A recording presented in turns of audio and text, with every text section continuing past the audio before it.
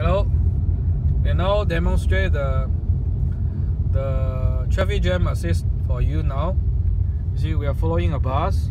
And now its steering wheel is showing in the instrument cluster. We can see clearly uh, below the active cruise control. There's a steering wheel icon. Right? See, the steering wheel is automatic still for you. Okay. Yeah.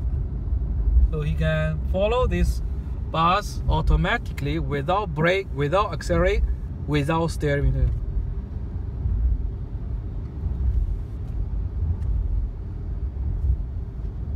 The condition of the active, uh, the uh, the condition of this uh, uh, uh, traffic jam assist is uh, you need to drive on the motorway first.